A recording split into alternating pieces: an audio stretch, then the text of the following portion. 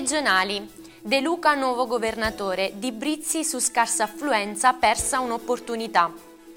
Elezioni comunali, Sassano raggiunge il quorum, Tommaso Pellegrino riconfermato sindaco.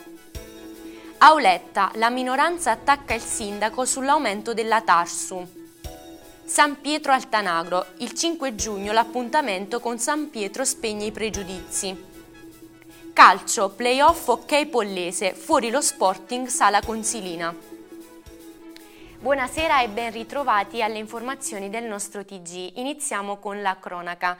Poca gente a votare. Il Vallo di Diano, eccezione fatta per qualche comune, non raggiunge quasi ovunque la metà degli aventi diritto al voto, al di sotto della media provinciale e regionale. Le elezioni regionali di ieri hanno indicato Vincenzo De Luca come nuovo presidente, ma come si sono comportati gli elettori del Vallo di Diano? Ancora una volta il territorio ha sprecato l'occasione di andare in massa al voto ed eleggere uno o più rappresentanti territoriali. Ieri sera alle 23 i dati di affluenza alle urne per l'elezione del presidente della regione Campania e dei consiglieri regionali non certo erano confortanti. A Pertosa, Polla, Salvitella e Sant'Arsenio Sassano riescono a portare alle urne più della metà degli aventi diritto al voto, anche se nei casi di Pertosa e Sassano hanno influito anche la contemporanea elezione del nuovo sindaco. Dati davvero preoccupanti per un territorio che con queste votazioni ha evidenziato un'ulteriore disaffezione alla politica da parte della gente. In questo contesto Padula con il 28,83% dei votanti è il comune che ha visto meno gente recarsi alle urne, nonostante la presenza del sindaco Paolo Imparato, che è anche consigliere provinciale. Adrian Lucana non può certo sorridere con il 31,64%, così come San Rufo e Teggiano con rispettivamente il 34 e il 35,49%.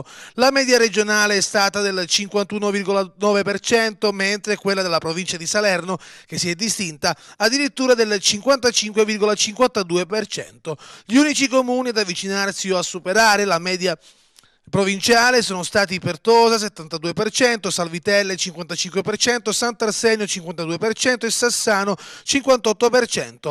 In termini di preferenza ai candidati governatori c'è poca differenza tra i due principali competitor De Luca e Caldoro, anche per la forte presenza di candidati appartenenti alle diverse coalizioni presenti sul territorio. Per quanto riguarda i comuni, De Luca vince quasi ovunque, con le poche ma importanti eccezioni di Teggiano, Polla e Sassano che hanno dato dato una grande fetta di voti al presidente uscente, anche per la presenza, lo ribadiamo, di candidati locali nelle liste collegate a Stefano Caldoro, ma anche Montesano sulla Marcellana e Monte San Giacomo sono stati territori di conquista dell'ex presidente, il dato che però deve far riflettere la politica locale e la bassa affluenza alle urne, un fenomeno davvero molto diffuso nel Vallo di Diano che è destinato anche in futuro, in assenza di una politica seria e unitaria, ad aumentare verticalmente vertiginosamente. Due punti percentuali e circa 60.000 voti hanno deciso l'esito dell'elezione del nuovo governatore della Campania. Vincenzo De Luca è il nuovo governatore della regione Campania e quanto è emerso dalle urne nella tornata elettorale andata in scena ieri in tutta la regione. De Luca ha ottenuto oltre il 40% delle preferenze, mentre il governatore uscente Stefano Caldoro non è andato oltre il 38%. Un risultato importante per l'ex sindaco di Salerno e gli elettori hanno riposto in lui la fiducia nonostante venerdì la commissione antimafia l'avesse inserito nella lista dei cosiddetti impresentabili. Analizzando provincia per provincia, provincia è stata una lotta fino all'ultimo. Nella provincia di Avellino De Luca ha superato il 50% dei consensi, mentre Caldoro si è arrestato al 33%.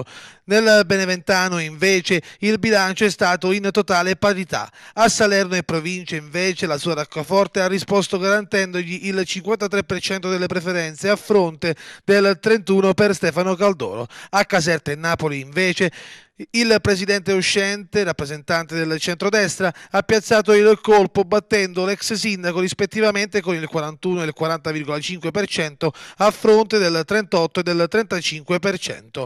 A far pendere l'ago della bilancia dunque è stata la provincia di Salerno e di Avellino, ma a guardare bene le persone che si sono recate a votare emerge un dato allarmante.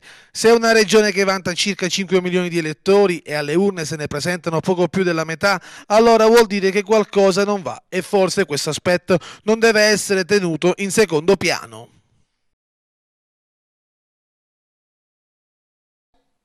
E al termine dello scrutinio Valentino Di Brizzi, candidato al Consiglio regionale, commenta l'esito del voto dichiarandosi soddisfatto per il risultato raggiunto che pur candidato per la prima volta alle elezioni regionali ha ottenuto un'ottima affermazione in termini di consensi sia nel Vallo di Diano che fuori, ma si dice comunque amareggiato per la scarsa affluenza alle urne. Il Vallo di Diano ha perso un'opportunità importante, dice. Un commento commento anche sull'elezione di De Luca, su cui pende la spalla di Damocle della legge Severino. Ascoltiamo Valentino Di Brizzi. Ma diciamo, al di là del, diciamo, della soddisfazione personale, diciamo, in tutta la provincia di Salerno per aver raggiunto un uh, risultato, devo dire, che deve essere preso in grande considerazione, eh, diciamo, sono rimasto poco poco deluso da quello che è stato invece il dato del Vallo Vignano non perché non mi ha votato, perché il Valoridiano in termini percentuali mi ha dato grandi consensi.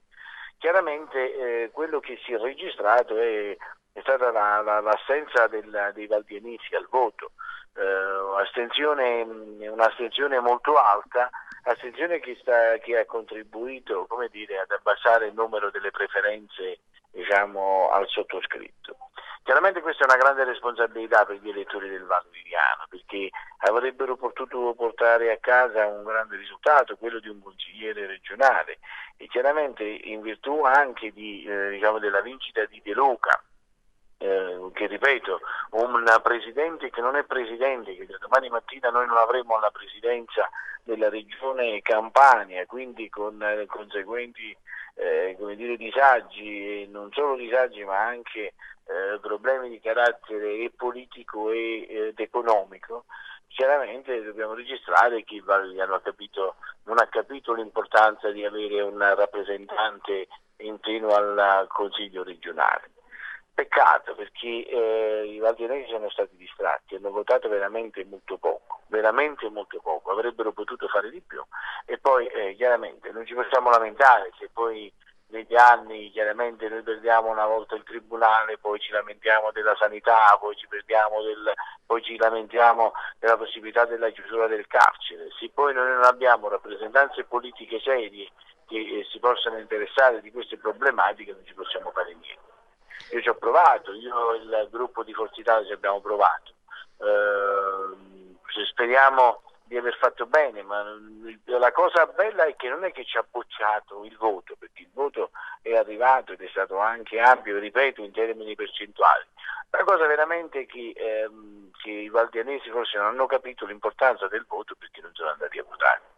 Ma senza dubbio, questa è la cosa che poi mi stupisce di più del, diciamo, dell'elettorato campano.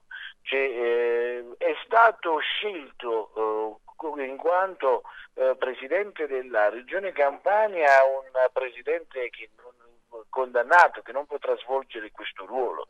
Io mi domando e dico, ma come si può votare? Cioè, voglio dire, come si può eh, dire, eh, dare in mano a una, una, persona che ha una condanna, che può essere legittima o illegittima, ma la condanna c'è, che non gli consente di fare il presidente della regione Campania e i campani lo hanno votato. Quindi, eh, francamente, non, non so cosa fare non so cosa fare, però il dato è questo, non possiamo fare altro che registrarlo, speriamo che le cose vanno bene, anche perché sarà commissariata penso domani mattina, non lo so come, come, che cosa accadrà in questi giorni. Va bene così, i campani hanno voluto fare in questo modo, i valdianesi hanno voluto come dire, non contribuire alla vincita e di Caldoro e eh, praticamente da, neanche alla dire, all'elezione di un rappresentante eh, locale e quindi va bene, cioè, dovremmo poi dire, non lamentarci di quanto accadrà. Il risultato di queste comunali a Sassano risulta essere decisamente soddisfacente per l'unica lista in campo che vedeva candidato sindaco l'uscente Tommaso Pellegrino. Oltre al raggiungimento del quorum, che già nel pomeriggio di ieri aveva lasciato spazio e soddisfazione per la riconferma e per lo scongiurato pericolo del commissariamento.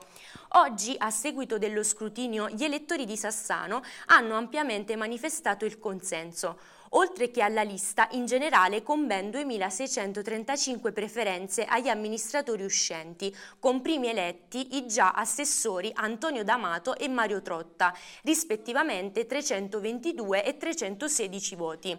Seguono poi Gianfranco Russo con 307 voti, Luigi Petrizzo, detto Gegè, che ha ottenuto 294 preferenze, Gaetano Spano con 260 voti, Maria Russo 239, Capuano Antonio 222, Vito Cavallone 208 voti, 198 le preferenze per Michele De Luca, Domenico Fornino 110 voti, Giovanni Giordano votato da 91 cittadini ed infine Esposito Gaetana, detta Tania, che ha conseguito 68 preferenze. Soddisfazione è stata espressa dai nuovi eletti ed in particolare da Antonio D'Amato e Mario Trotta, rispettivamente primo e secondo eletto. Ascoltiamoli. Da parte mia, da parte nostra naturalmente c'è tanta soddisfazione, credo che effettivamente abbia premiato un po' la coerenza politica e andiamo a leggere anche un risultato sull'avere bene fatto effettivamente anche in passato, quindi tutte magari quelle calunnie che ci sono state, tutte quelle accuse sull'aver fatto, sull fatto, poco in passato come amministrazione oggi devo leggere con mia felicità che erano del tutto infondate. Tutta l'amministrazione Pellegrino della giunta uscente eravamo candidati io e l'assessore Trotta, eh, ci siamo appunto riconfermati come il primo e il secondo eletto, ma naturalmente è stato anche un bel risultato un po' di tutti, un po' di tutta quanta l'amministrazione, oggi siamo appunto pronti, un gruppo coeso, un gruppo unitario appunto ad amministrare e già da domani mattina ci metteremo al lavoro sempre e comunque nell'interesse del nostro Paese. Sicuramente i sassanesi hanno votato, hanno risposto a quella che era un loro diritto nonostante ci fossero eh, tante voci di segno opposto, eh, anche nonostante ci fosse anche un comitato no voto, però abbiamo raggiunto abbondamento del quorum, segno questo che l'amministrazione Pellegrino già ovviamente nella recente amministrazione ha lavorato bene e quindi ovviamente c'è stata una ampia riconferma. Poi quanto alla, alla mia posizione personale è ovvio che sono ampiamente soddisfatto del risultato ottenuto. Adesso parliamo ovviamente di consigliere, ancora non di cariche perché ovviamente quelle si stabiliranno in un altro momento. Certo quello che posso garantire è che eh, il mio continuo e costante impegno come ho già fatto per il passato e quindi lavorare sempre per eh, i sassanesi e per Sassano. Un'altra soddisfazione può essere considerata il fatto che i primi eletti sono tutti giovani? Certo, sicuramente, questo veramente è una eh, soddisfazione e anche una riconferma della passata amministrazione perché ovvio anche l'altra amministrazione era composta da persone abbastanza giovani ma poi in realtà io dico che il giovane anagraficamente è solo una questione relativa perché poi eh, l'importante è fare, l'importante è la volontà e l'impegno che si mette nell'amministrare nel fare le cose per i sassanesi e per, e per Sassano ovviamente. Ascoltiamo ora l'intervista al riconfermato sindaco di Sassano Tommaso Pellegrino in attesa dello scrutinio per l'acquisizione dei voti.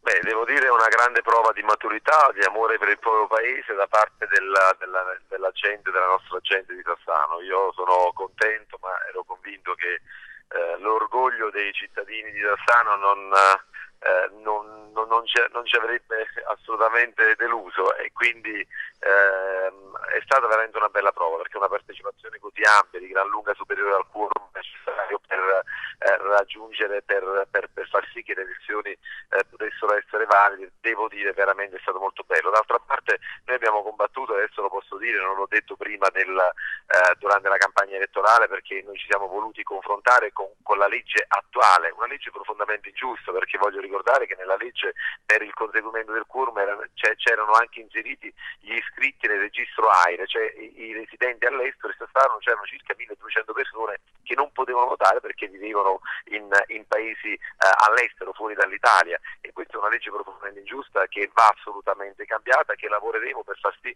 che venga cambiata. E noi abbiamo tenuto anche un profilo di correttezza perché potevamo fare anche una lista cosiddetta civetta, non lo abbiamo fatto, noi ci abbiamo messo la faccia, ci siamo presentati, siamo sottoposti sottoposti al giudizio della gente, anche perché noi abbiamo amministrato e chi ha amministrato deve anche sottoporsi al giudizio rispetto alle cose che ha fatto. E abbiamo fatto esattamente questo, alla fine abbiamo eh, eh, chiesto appunto e ci siamo eh, impegnati proprio in modo rispettando soprattutto la nostra gente e le nostre famiglie, quindi abbiamo voluto un confronto democratico, eh, appunto abbiamo eh, soprattutto tenuto in grande considerazione quel principio sacrosanto, quel valore sacrosanto che è quello della democrazia e, ed è stata una bella, una, bella, una bella risposta, devo dire veramente un grande grazie ai tanti giovani che hanno collaborato, che sono stati vicino, un grande grazie alle tante famiglie che hanno, che hanno voluto votare e con orgoglio e con entusiasmo si sono recati eh, al voto. Devo dire veramente una bella giornata, una bella giornata di democrazia per Spassano, per il Ballo di Diano e una bella giornata di democrazia e per la politica soprattutto, perché poi quando c'è una politica che unisce, anche perché la, i cittadini di Spassano hanno premiato un progetto unitario che andasse nella direzione della pace non delle divisioni, della, della, della concordia, non dei litigi. In un momento in cui c'è una politica che siamo abituati a vedere una politica che litiga, una politica che si contrappone, beh, una volta da Rossano abbiamo dato invece un segnale opposto, cioè una politica che unisce e questo è stato premiato dalla nostra gente. A Pertosa si conferma con successo a sindaco Michele Caggiano, che raggiunge un'ottima riaffermazione come primo cittadino, così come è risultata vincente la composizione della sua lista. Importante novità in consiglio tra i banchi della maggioranza con l'ottima affermazione di uno straniero, Samsoi Nicolai, con cui già l'amministrazione comunale collaborava. Nel dettaglio Caggiano si è riconfermato sindaco con 357 voti contro i 155 2005 di Vito Panzella, eletti alla carica di consigliere, Barba con 78 voti, Cafaro 75, Lupo 36, Manisera 30, La Porta 32, Samsoi 28 e Caggiano Vincenzo con 22 voti. Tra i banchi dell'opposizione, oltre al sindaco Panzella, anche Soldovieri con 36 preferenze e Gagliardi 28. Ascoltiamo nell'intervista il neo rieletto sindaco Michele Caggiano. Evidentemente, evidentemente abbiamo fatto bene, stiamo facendo bene.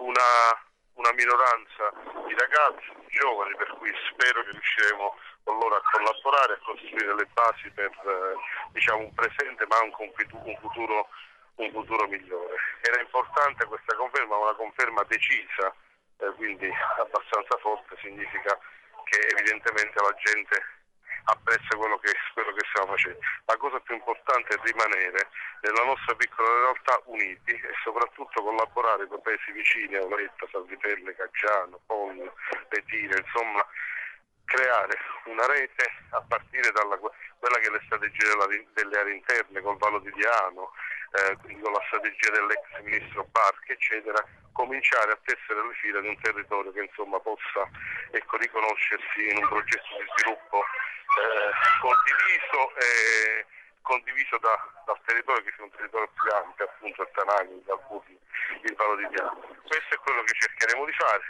Un dato importante, lo spoglio ancora sta terminando, per cui ci sono ancora delle schede, ma da quello che verrà fuori molto probabilmente un nostro consigliere comunale eh, rumeno, quindi comunitario, penso che un, eh, questo possa rappresentare un evento. Lui avrà la delega alle politiche comunitarie, già con lui facevamo la festa dei popoli diocesani, eccetera. Considereremo questo progetto anche di integrazione del, delle popolazioni comunitarie e non. E questo è un segnale importante che la comunità abbia dato riconoscimento a, a questa persona. Questo ovviamente la riconferma di molti miei eh, ex consiglieri, assessori, vice sindaci, insomma tutti quanti. Poi purtroppo questa eh, cosa elettorale è fatta un po' così perché qualcuno resta fuori pur vincente. Beh, dovremmo assolutamente pensare anche a loro perché con tutti quanti adesso c'è Franco Toriglia, il nostro candidato del territorio, che ha avuto una bella affermazione Adesso seguirà un breve stacco pubblicitario, a tra poco con la seconda parte delle nostre notizie. Ben ritrovati, ci spostiamo adesso ad Auletta, dove tiene banco la questione Tarsu. Con un doppio volantino la minoranza attacca il sindaco per l'incremento delle bollette del 26%, eppure con la gestione integrata del ciclo dei rifiuti e l'addio all'ergo. Si preventivava un grande risparmio. Un doppio volantino ha acceso il dibattito in questi giorni ad Auletta. Il gruppo Cambia Auletta ha infatti lanciato un duro affondo nei confronti dell'amministrazione comunale guidata dal sindaco Pietro Pessolano. Oggetto del contendere la Tarso, i cui bollettini giunti nelle ultime settimane evidenzia che per la gestione del ciclo dei rifiuti urbani c'è un aumento del 26%, eppure il sindaco, si legge nella missiva, prometteva la riduzione delle imposte locali, tra cui la Tarsu. La precedente amministrazione Commissione, prosegue la nota, ottenne che il servizio di porta a porta e il conseguenziale trasporto e smaltimento dei rifiuti fosse fatto con dipendenti del comune di Auletta in associazione con i comuni di Salvitella e Caggiano. Questo prevedeva un risparmio. Nella missiva si snocciolano numeri e si riporta che la prima cosa a cui fu messo mano era la convenzione con la Ergon, la quale prevedeva un costo di 178.000 euro. Con la gestione integrata il comune avrebbe speso 95.000 euro circa, con un notevole risparmio a cui andrebbero poi aggiunti i ristori derivanti dalla vendita di cartone, vetro, latta e carta che avrebbero dovuto quindi abbattere ulteriormente il costo del servizio, cosa che però non è avvenuta visto gli aumenti ravvisati nell'ultima bolletta. In un secondo volantino, sempre a firma del gruppo Cambiaoletta, si replica le risposte offerte dal primo cittadino che amputava prima alla provincia l'aumento delle imposte, poi faceva riferimento a componenti del nucleo familiare e infine faceva riferimento al dipendente collocato nella voce Tarsu, o meglio Tari 2014. La verità, così scomoda, torna la nota, è tutt'altra. Infatti, con la delibera numero 28 del 30 settembre, l'amministrazione comunale ha deliberato un aumento generalizzato delle tariffe. La tariffa per l'abitazione è passata da 1,50 euro a 2,10 euro, la tariffa per gli studi professionali, banche assicurazioni da 6 euro a 8,40 euro a metro quadro, la tariffa per i depositi da 1 euro a 1,40 euro a metro quadro. Inoltre il gruppo Cambioletta lamenta una carenza di informazioni fondamentali degli avvisi tari per poterli definire legittimi. La prima lacuna, si legge, è l'assenza di qualsiasi riferimento alla delibera di adozione delle tariffe tari, la seconda è il mancato riporto sugli avvisi della tariffa applicata a metro quadro. Pertanto il gruppo Cambioletta invita i cittadini a richiedere il ritiro degli avvisi, così come consegnati e pretendere che siano rielaborati nel rispetto della normativa sulla trasparenza.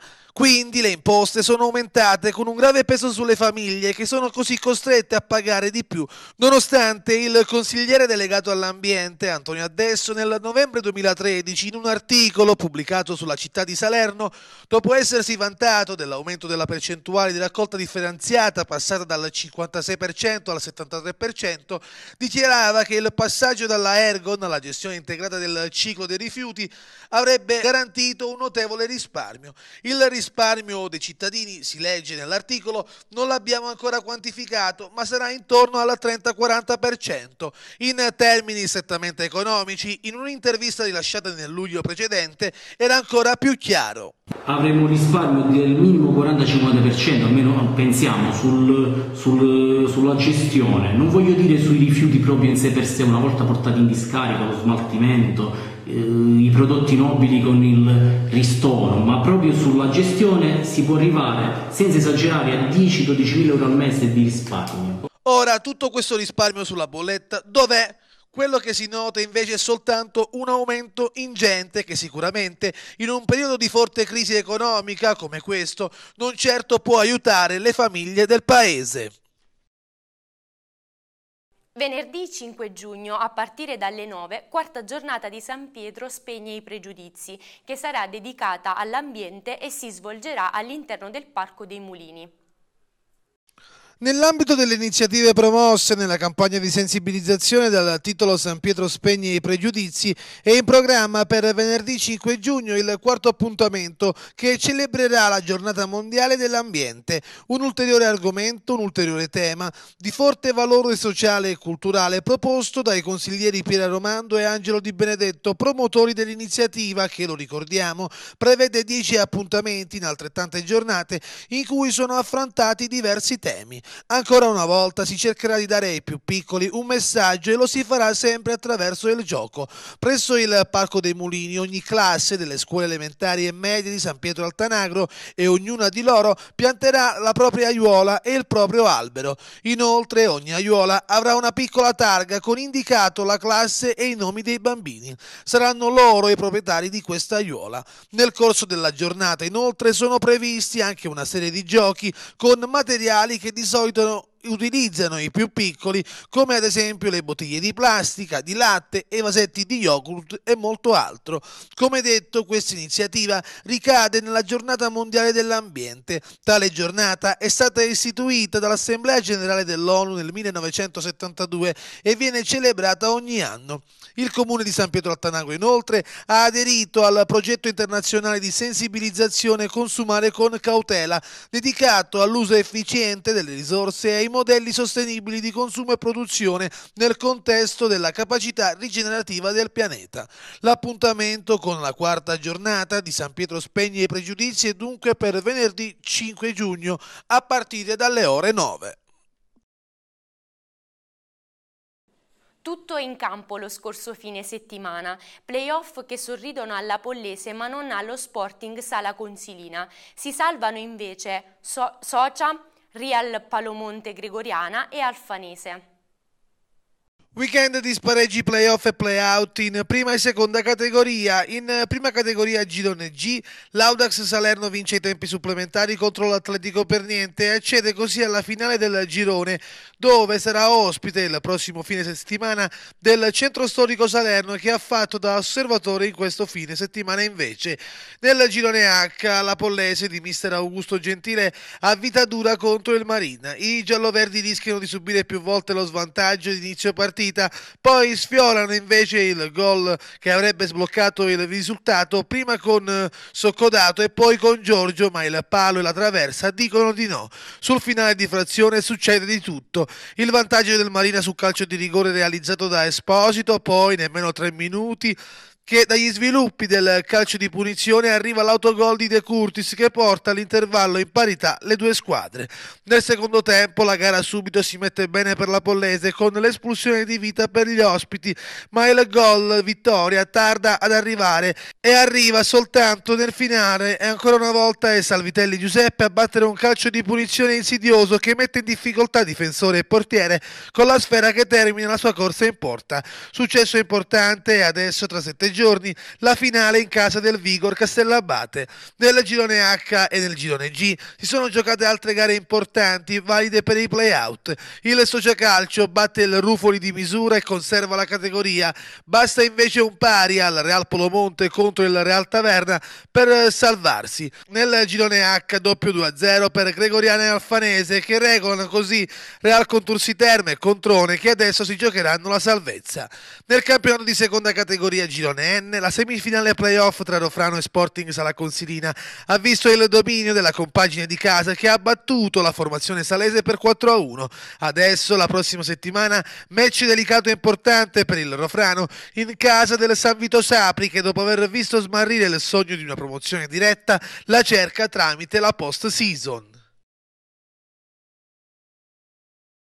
Grande spettacolo per la 33esima edizione della Corsa Longa, 9 km di corsa che hanno emozionato il pubblico presente e hanno consegnato la vittoria e il nuovo record del circuito al marocchino Josef Zituni della potistica Il Laghetto che ha abbassato di 8 il precedente record.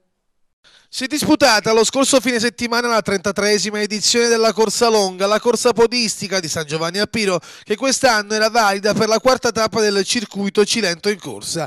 Un'edizione che ha fatto registrare ben quattro premiati da parte dell'organizzazione, l'associazione Media Piros, che ha dovuto aggiornare il libro dei record.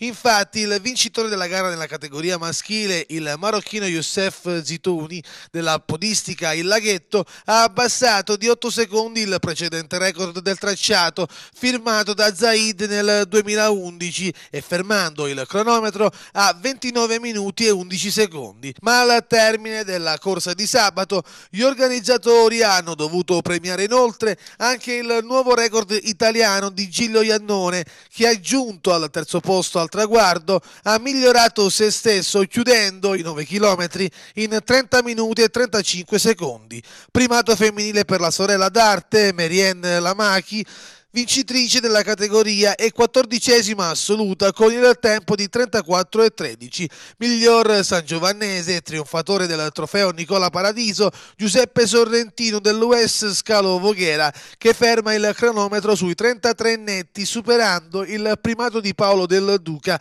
che eh, resisteva dal 2010. Gli atleti sono stati accompagnati lungo tutto il percorso da tanta gente che li ha incitati e spinti al traguardo. La corsa si è decisa sulla salita finale dove Zitoni stacca il compagno di fuga e riesce a raggiungere solo il traguardo. Il traguardo di Via Teodoro Gaza celebra così il nuovo primato assoluto della corsa longa ad opera dell'atleta marocchino che si aggiudica anche il bonus oltre al premio per il primo classificato. La macchia arriva con un ritardo di 41 secondi, Iannone terzo a 1 minuto e 24. Ora per quanto riguarda il trofeo del circuito cilento in corsa dopo quattro tappe resta in testa la classifica generale Giorgio Mario Nigro del Running Club Camerota settimo alla corsa longa con 736 punti davanti a Donato Marotta con 727 punti e Marco Landi a quota 720 tra le donne Anna Senatore comanda la classifica con 391 punti, inseguita da Daniela Capo e eh, Faustina Bianco. Questa era la nostra ultima notizia, grazie per averci seguito, auguro a tutti una buona serata.